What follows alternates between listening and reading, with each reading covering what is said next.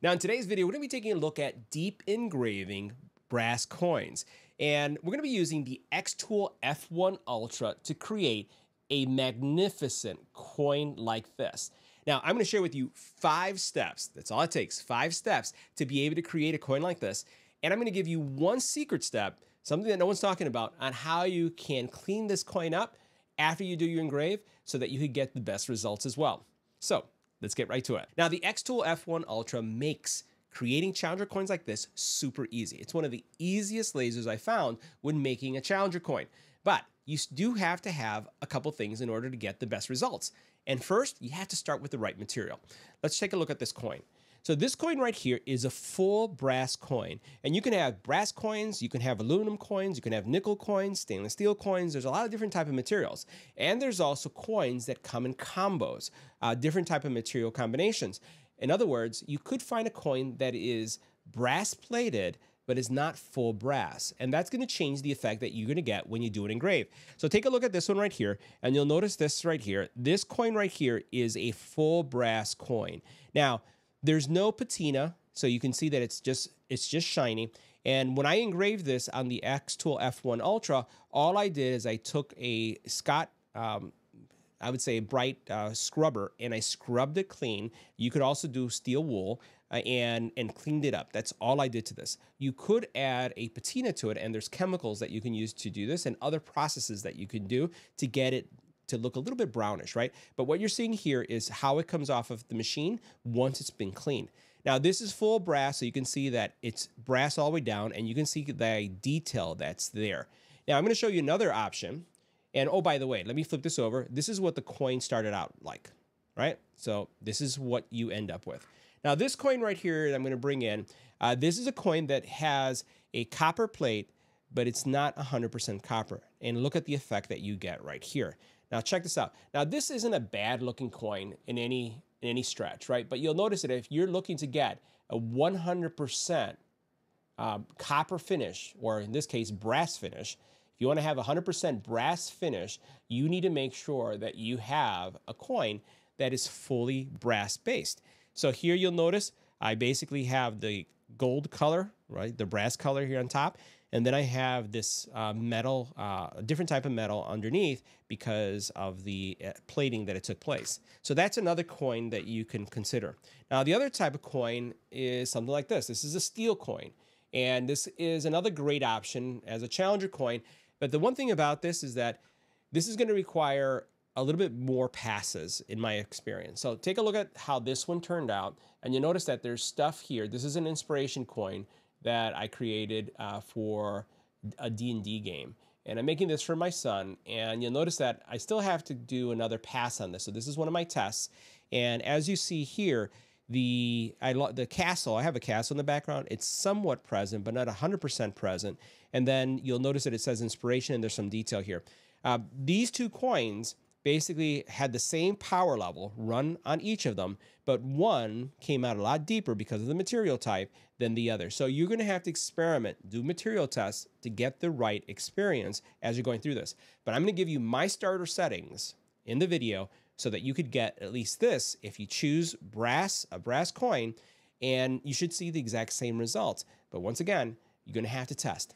Now, the other thing I did with this one and with this one is that once I did the engrave, I did a clean, uh, in, uh, I would say, pass. And that removed a lot of the dirt, the material that was still on, on there because of the engraves, and it gave me somewhat of a polish. Not a super polish, but it gave me somewhat of a polish. Now, before processing an image, I'm just going to give you some tips, uh, some steps that I typically go through is just preparing my canvas. So the first thing I have here is you notice I have a circle. Make sure that your circle is perfectly circled, if that's even the right word. So notice right here my size, 29.14, 29.14. This is what works for me based on the coin size that I have. So I want to make sure that these are not off and you want to make sure that they will size accordingly. The second thing that we're going to do is we're going to get some images. Now, these are images uh, that I've created using uh, an AI, and there's a lot of different ways that you can get these images. So sourcing your images is something that you can uh, check on the internet or use even Xtool's um, image generator. So what we're going to do is we're going to go into this ArtMind right here tool, and we're going to choose embossment. Now you're going to see that I have a series of images that I've already worked with that will show up here in a couple seconds uh, that I've already loaded. But let me show you what the process is um, in this area. So the first thing you're going to do is you're going to choose the image that you're going to upload or you're going to generate one based on keywords using the AI. Now this is an image that I generated that I'm going to be um, engraving or embossing on a coin. I have the dragon that you saw on one side and I'm going to be putting this wolf on the other side. Uh, so uh, what I'll, all I'll have to do is choose OK, and then it is going to load the image here. Now, what I can then do is hit generate. You will need some Xtool coins in order to do this. And typically by opening up an account on Xtool, registering yourself, you're going to probably have coins already. If you purchased um, a laser, you will have coins already. So uh, you'll have something there that you'll be able to work with. And then what you do is generate. There's nothing that you'll enter here. All you'll do is generate. Now, once the image has been processed, you're going to get a result like this. And you'll notice that I have here some coins that I've been working on already. And these are all that I've either generated via AI or I've created um, using uh, the Xtool tool. Now, what you could do is you can either download this to save this, you can import it into your canvas, or you can even look at it. What does it look like in this 3D render? So this is what this coin is going to look like once, once it's embossed. And if you were to do this, for example, even on a slate, you could get some really cool effects as you can see right here. So see how neat that looks? So we're going to go ahead and we're going to close this out and I'm going to choose import into canvas. So as I choose import to canvas, I'm going to say yes to scale to fit. And here we have a coin now. Now, here's a trick. One of the things that I found is when if you haven't purchased an image or you're generating your image is sometimes the circle isn't perfect. And that's kind of, you know, it's a pain, right, dealing with that. So what I'm going to do is I'm going to resize this down.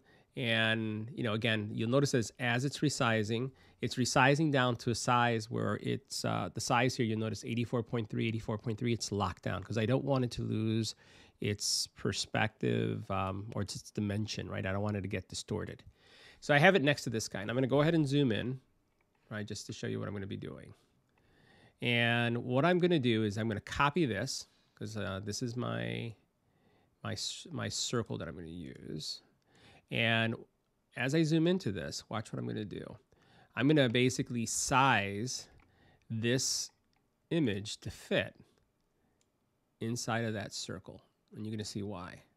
So, and what I'm trying to do is I'm trying to get make sure that the circle that I get is going to be just like the coin itself. So I'll basically adjust it a little bit to where I want it to be and make sure it's not cutting off anything. That kind of looks really good there. So, and I'm not worried about this outer area. I'm kind of looking at what's going on in here, making sure that things look good, right? And I think they do.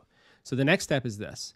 You're going to select them both, right click, and then watch this. You're to say create a mask. Watch what's going to happen.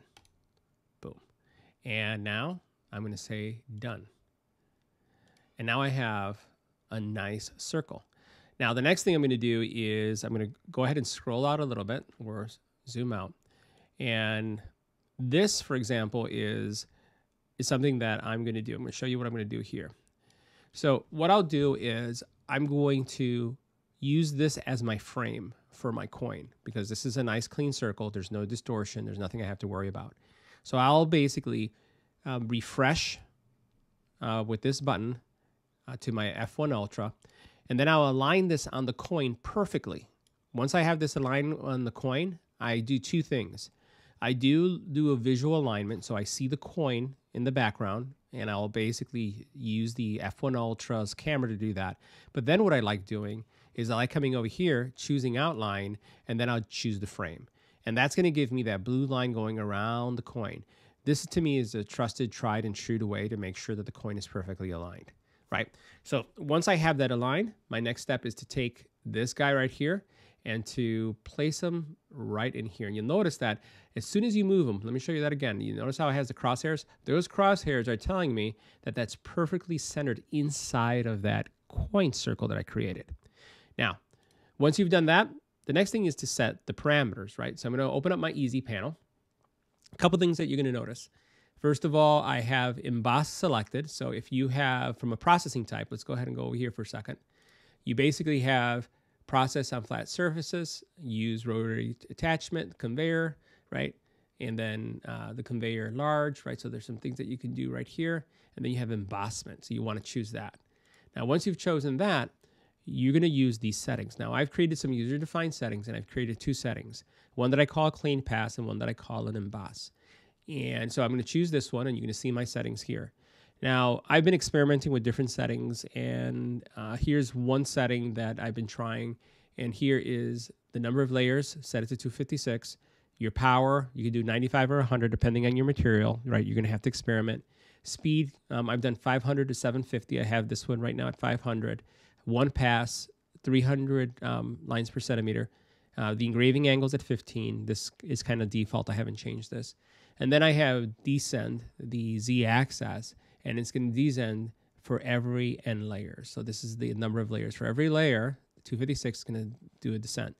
And then basically, this is going to give you really nice deep engrave. This is going to give you a really nice deep engrave, right? So that's that's the setting that I'll do. And then once I run this, this is going to take about two and a half hours, maybe almost three hours. It does take a long time. I would not run a emboss inside of a home unless you have a really good filtration system or you're going to be using um, some form of extractor to get this out because this this creates a lot of dust. All right, so once you've run your engrave, the next step is to do a clean pass. I'll show you what I have for clean. And I've done a couple things. Uh, one of the things that I've done, I'll show you one thing, is I've basically taken this thing right here. Um, I've changed it to an engrave and then I have um, then done basically change the fiber to fiber, and I've increased the frequency to 60.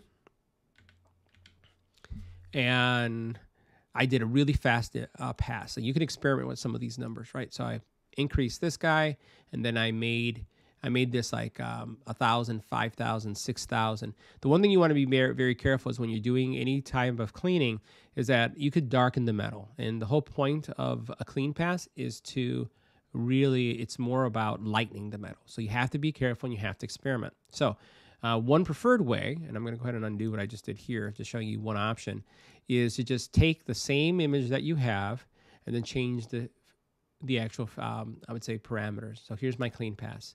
So you notice my clean pass, same power, right? But now I have a crazy amount of speed. I've maxed it out. And everything else stays the same. And I'll run this uh, so that it can clean it up. So that's my clean, or that's a clean option, and then the engrave option. So guys, that wraps up our review. See you in the next video.